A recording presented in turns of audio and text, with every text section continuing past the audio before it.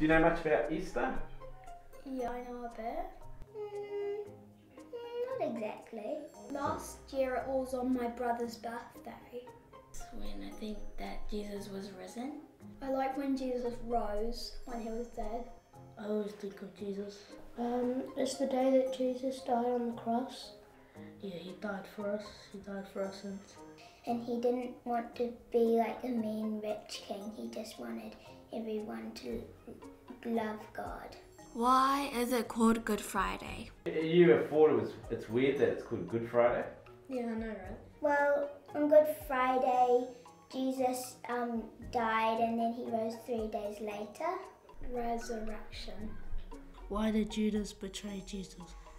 Or for the mi- um for like and then he um sent those people to like crucify Jesus. He carried the cross to the top of the hill. Do you know how to spell resurrection?